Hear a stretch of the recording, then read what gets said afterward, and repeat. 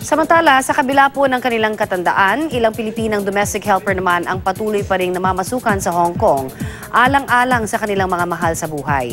Ang kanilang kwento sa unang balitang ito.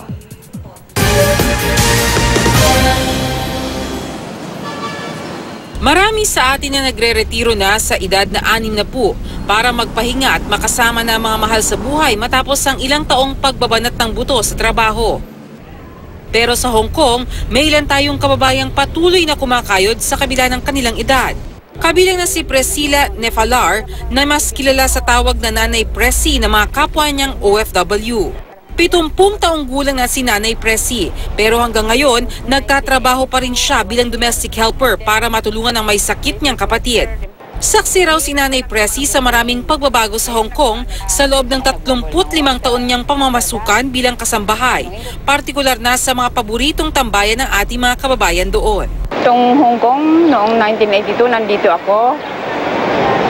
Bira pa lang ang mga buildings. Ngayon, nag-iba na itong Hong Kong Bank. Nag-iba na rin itong mga hotels. Marami nang nag-iba. Black na lion dyan. Black na lion dyan. Saka talagang wala pang mga building, iba pa ang building dito noon. Malusog pa rin si Nanay Presi sa kabila ng kanyang edad at ni minsan ay hindi pa siya na ospital.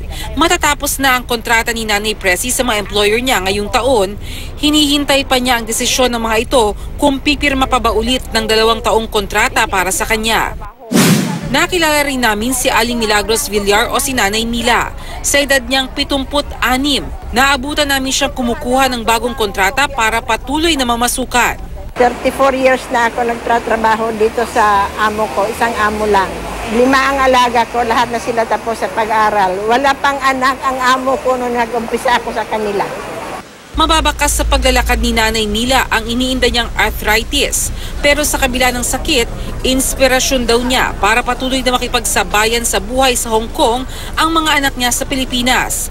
Balak raw ni Nanay Mila na umuwi makalipas ang dalawang taon kung saan nasasabik na siyang salubungin siya ng kanyang mga apo.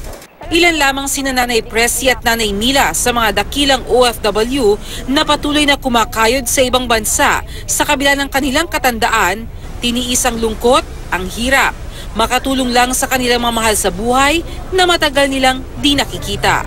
Para sa unang balita, Bernadette Reyes reporting.